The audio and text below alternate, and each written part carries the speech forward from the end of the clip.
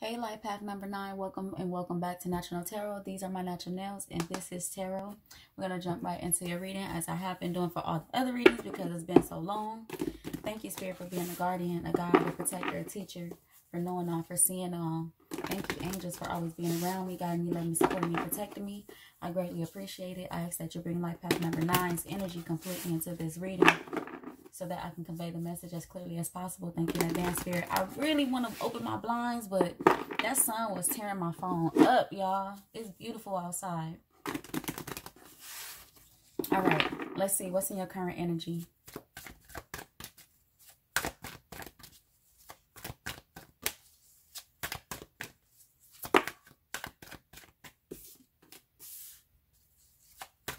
We have the Knight of Wands, the Knight of Cups,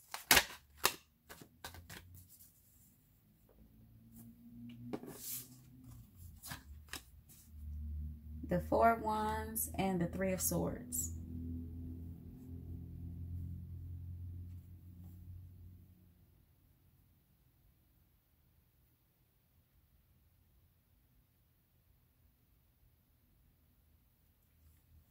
It's like you are, um, you really, really want companionship. Now, this could be somebody, this doesn't this is not somebody new because we have this three of swords here which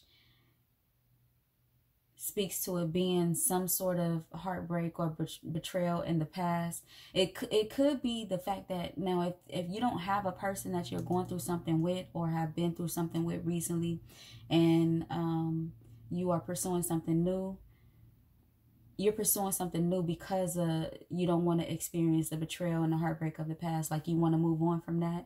You want companionship, um, but you have experienced some form of heartbreak or betrayal in the past. But it really looks like somebody that you already know. Um, you want companionship. You don't want to feel this hurt anymore. All right, let's see what your blockages are. Number nine.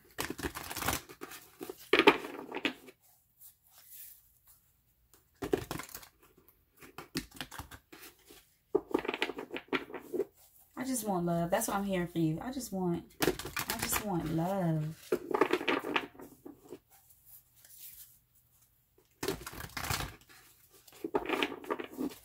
The blockages for number nine? We have Destiny, the Wheel of Fortune. We have the Waiting Game, the Two of Wands. Rest and Rejuvenate, the Four of Swords. So basically, Spirit is telling you it's not time yet, number nine. So whether it's somebody old, not old, like, you know, old age, but um, someone that you've already been in a relationship with that you still want to pursue or whether it's companionship itself, like wanting to start something new. Um, for those of you who is somebody that you've already been in a relationship with, if you believe that this is your soulmate, it's just not time yet. It's not time yet. Um, and for those of you who are pursuing something new, you still have healing to do from past relationships. This could also be for the person who is pursuing companionship with somebody that they were already with. This could also be you had, you carried things from past relationships into this relationship, which is why it's not time yet things are happening in divine time, but there are changes that have to take place in order for companionship to come into your life. Or this balance, this balance that you're seeking when it comes to the way you give love and the way you receive it. There needs to be a balance between this is like stepping outside of the person that you're pursuing or companionship itself. There needs to be a balance in the way you give love and the way you receive it. Some areas you may be giving too much. Some, some, for some of you, you're not giving enough. take it how it resonates. So some of you are given to have may have been given too much. Some of you may not have given enough because of like it could be fear or because of uh, whatever has been attached to you from the past. Something is attached to you from the past, which is why it's not time for this union to come together. There are things inside of you alone that have to come together that needs to be healed. Okay, let's let's dig into your blockages.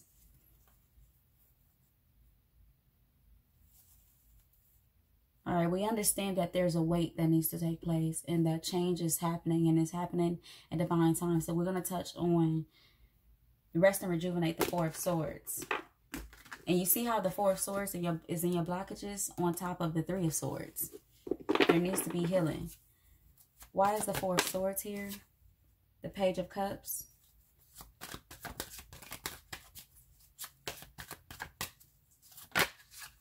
And death. Okay, there's a... The way you've been pursuing companionship, there's an immaturity in it. It's been from a very passionate space versus soul led or intuition. It's been from a very, very passionate space. It doesn't just mean like sex, like you just been pursuing it um, because of sex, but passion. It's been from a very passionate space, like, oh, I just like this person so much, or oh, I want love so bad that um, I'm going to make this person my person there's some things from your past that you've been carrying into relationships that need to to die out that need to transform that need to be let go of. In order to bring this balance into nurturing all areas of your life.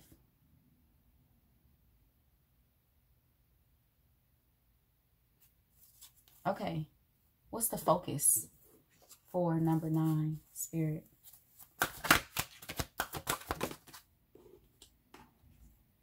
we have foundation and achievements which is what you want which is what you you're going towards. It's in your current energy so it's showing up in your focus. Um but you may have you you keep trying to build this foundation from pain or from heartbreak. You haven't released the, the pain and the betrayal and the heartbreak of the past relationships and you you keep trying to rebuild. Um but there's you're you're trying to rebuild without the healing. The healing has to take place in order for you to build this new this new foundation.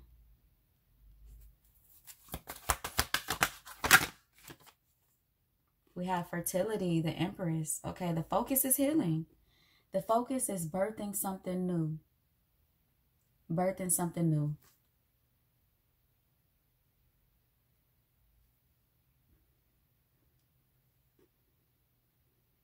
Look how this Page of Cups is looking at this Empress. It's time to birth something new. It's time to mature your lens. It's time to be soul led to companionship. What else for energy coming? I mean, focus for number nine, trapped in fear, we have the Eight of Swords. You've been afraid to do things different. You've been afraid to let go of your ways. You're going to have to drop that fear of um, letting go of the of completely so even when that person I was speaking to where you you feel like the, uh, there's a specific person you're supposed to be with and it's not working out right now you're gonna let have to let the relationship as a whole go so that you can heal yourself and focus on self. And like i said like i always say if you believe that this is your soulmate in this lifetime your life partner it will come back around. But there are things that have to be let go of in order for it to work as beautifully as spirit wants it to work. And you're scared to let go because you don't want to miss out. Like you don't want to miss the opportunity or you don't want you're scared to let to let go. Look, suffering in silence, the nine of swords at the bottom of the deck. hope, the star. You're scared of the newness that will come in. What if it's not so great? What if it's not better than than it got to be better than what it is now. Number 9. It can't you know like if you change the way that you're doing things, it got to be better than what it is now. It can't stay the same. If you're changing for the greater good, it has to get better. It's going to feel like it's not getting better, but it has to get better. Because what it is now is a result of um, the way you have been pursuing it. Let's let's tap into this fear. First, first, okay, let's tap into this fear. The Four of Cups.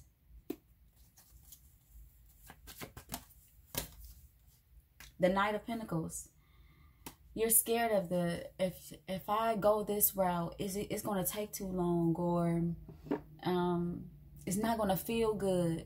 And it may not because it may not feel good because it's gonna be so different from what you're used to. But what you're feeling right now doesn't feel good. This is this is not gonna feel good feeling. It's only gonna be temporary because you are going towards what's really best for you. You're scared of the time that it's going to take. Anything that is that happens very quickly tends to not last long. Now, not to say that hasn't happened ever where something happened quickly and um it ended up being a great thing and it lasted for a very long time. Not to say that never happened, but it's very rare. Things that you put your time, your dedication into, your highest level of effort, there's longevity in it.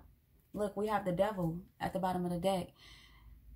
Paying attention to time and how long something is going to take and um, I'm not gonna like how it feels. That's an that's a deeply rooted attachment. It's an illusion also. It's an illusion. It stems from some form of inner conflict having to do with choices in love.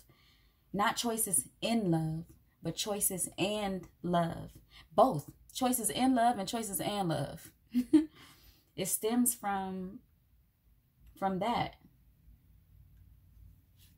like moving in in love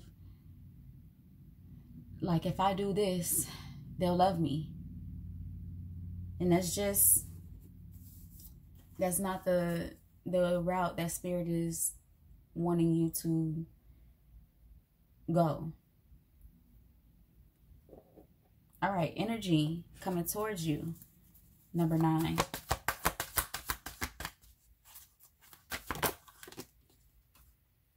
solar plexus chakra.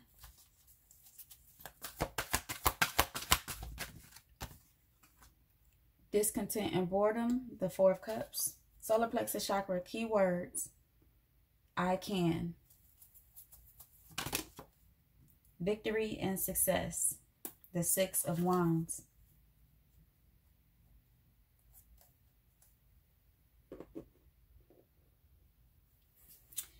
So the energy coming towards you, having the strength, having the the confidence to do this, to say yes to this, to say yes to the journey of being patient with yourself and healing yourself. This is what's coming towards you now. It's not going to feel great, is what Spirit is saying. Um, and that's only in the beginning it's not going to feel great and it's not going to seem like it's great but it's going to be the the winning choice the winning decision to make you have to step in the confidence is coming towards you you'll be embodying the confidence. And in those times of this doesn't feel good i don't like the way this feels or it's taking too long you know all those things that you feel are adversities. You have to be confident in in the fact that it's what spirit wants you to do that was in what that is what's best for you. It's the winning decision let's let's tap into this uh discontent and boredom. Okay, I do want to touch on this solar plexus chakra too, but discontent and boredom, your emotions, you're gonna have to be able to control your emotions. Um, you're gonna have to remind yourself that I am safe in this, especially if what's happening is not what was happening before, or that betrayal.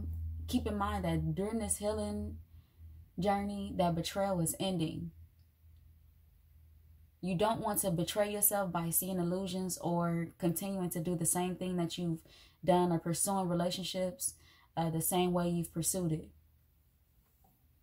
So you'll have to control your emotions and understand that you are safe. You are you're safe.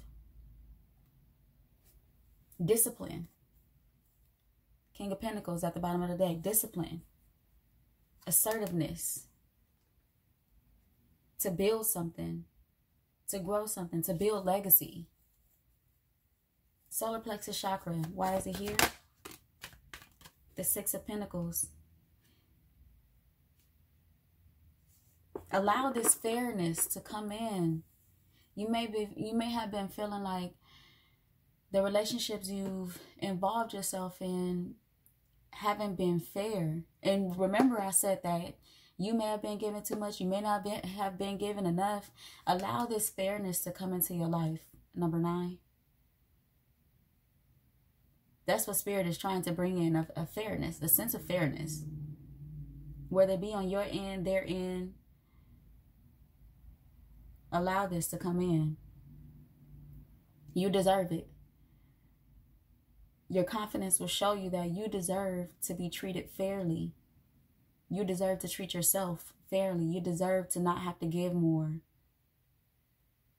You deserve for the, the others of you who didn't give enough. You deserve to give love in its purest form.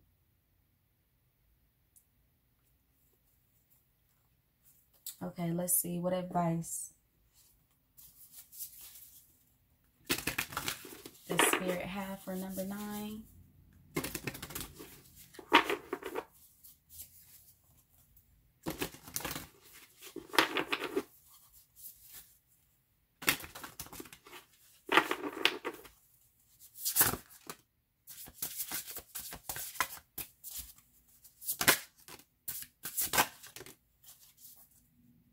Letting go is at the bottom of the deck. Inner power. Give me the courage and the power to do what must be done. No more fear. Number nine. No, no more being scared of if I start making decisions differently. Um, is it going to work? Is it going to you know, pan out. It is. This is why you're feeling what you're feeling because it's time to to switch it up. It's time to make different decisions. Clearing. As true offering arises, it becomes easy to let go. You start to trust that more will always arrive. You shift from mind, mind, mind to God's, God's, God's. Such freedom.